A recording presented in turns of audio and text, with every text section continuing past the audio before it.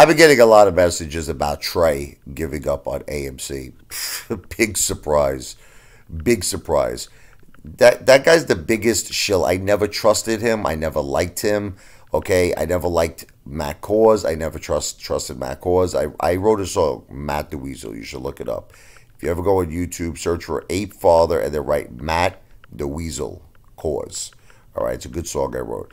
Listen, Trey was doing different things than what he was preaching from the beginning.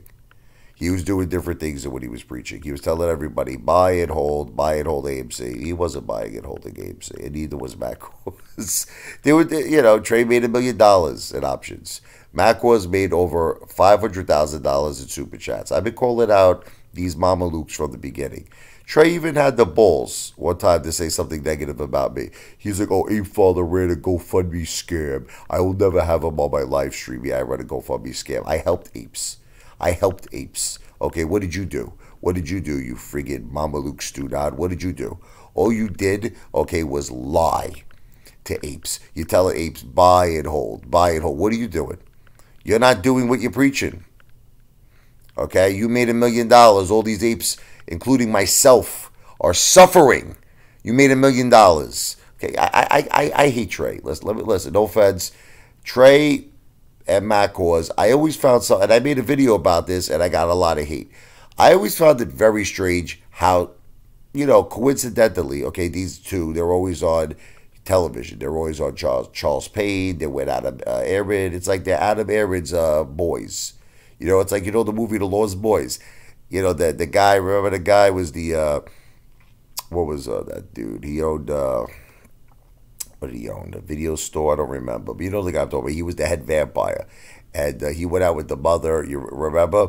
And then he came by. He said, "I see you. You took care of my boys here, but you got to take care of me because I'm the head vampire, baby."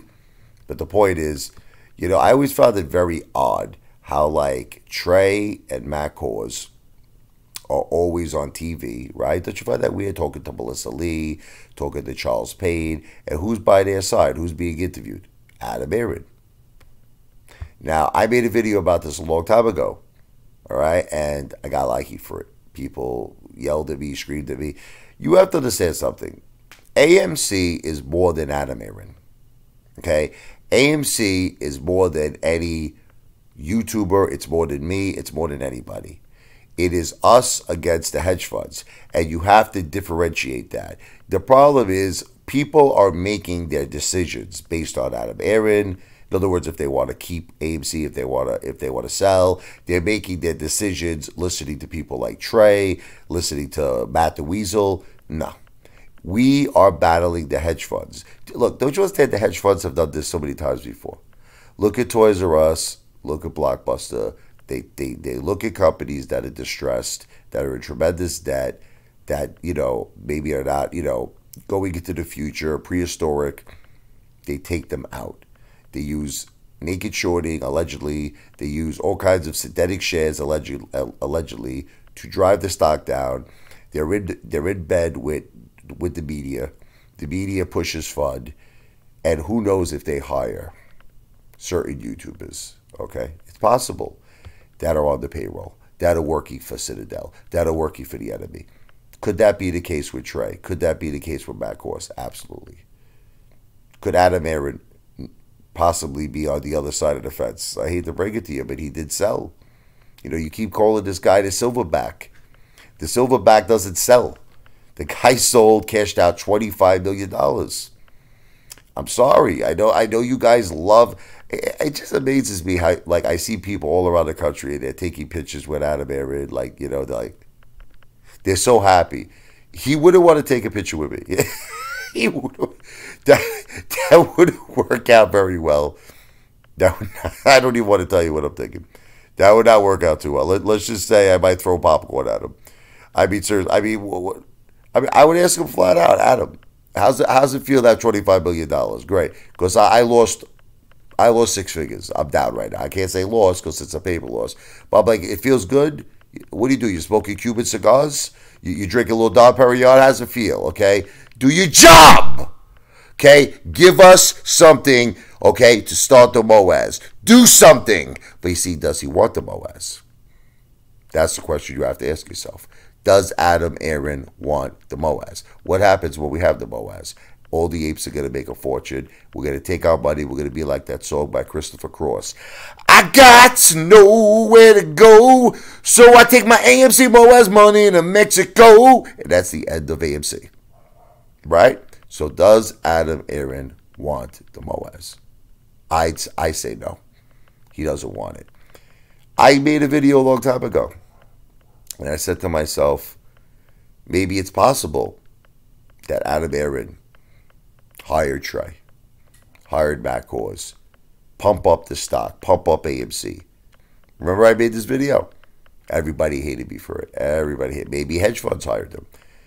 Now you might say, but what's the point of this? The point of this was that AMC was on the verge of bankruptcy. Okay? It was the coronavirus. No one was going to the movies. the movie theaters were all closed down. They were shut down. They were made trouble. So they again, you're like, well, are you saying it's a scam? No, I'm not saying that.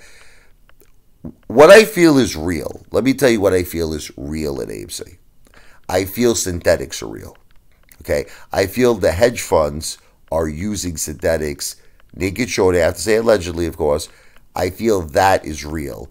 And once those positions are closed, you're going to have yourself a nice, nice run with AMC. So that I believe in was never involved in AMC, me personally, because of its fundamentals or because of Adam Aron. I never liked Adam Aron. I never liked Trey. I never liked Matt Kohrs. I was in it for a short squeeze play. So all of these things have nothing to do with a short squeeze. You see, you, you have to differentiate. That's the problem with all of you. You can't differentiate. You know, you, you, you think everybody is on our side. You think Trey is on our side. He's a fake ape. He was never an ape. You think Matt Kohrs is on our side cashed up $500,000. You think Adam Aron's on our side, cashed up $25 million. You think Lou is on our side, Lou made hundreds and hundreds of thousands, never owned a single share of AMC. I'm on your side. Me. I'm on your side. I put, oh, I don't even want to tell you. I started with 185,500. I bought AMC at what, 53. Since then, I threw in a lot more.